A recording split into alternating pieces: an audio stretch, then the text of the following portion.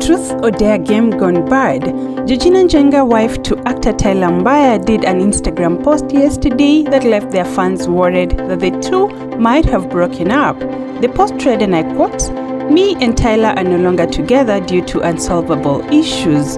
This post lasted for only 10 minutes, then she deleted it. And at around the same time, she also shared a video of her dancing with Tyler dancing along right behind her. So, Georgina has dismissed the claims that she has broken up with Bae Tyler Mbaya. She has refuted the claim saying that it was only a truth and dare game gone bad and that there is totally no issue between her and the baby daddy.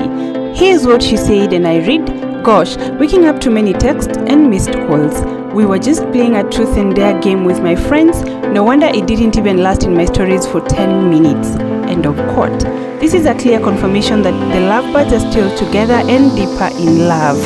The couple is a great inspiration to many who look up to them and they have always been serving their fans couple goals from the time they got together. They together have an adorable baby girl who is about 6 months old.